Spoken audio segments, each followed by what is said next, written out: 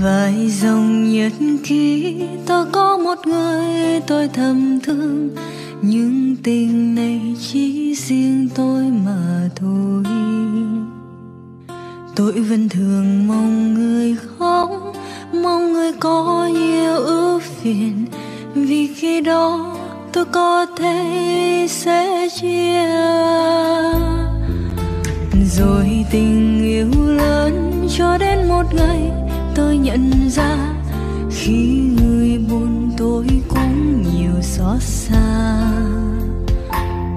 Thế nên giờ đây tôi muốn người tìm ai đó như mong đợi, hay sống vui, nước mắt cứ để riêng mình tôi. Ngược thời gian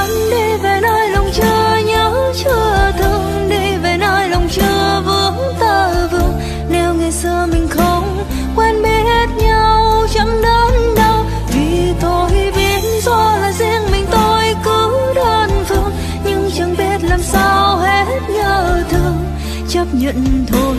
Khi người chẳng thương tôi người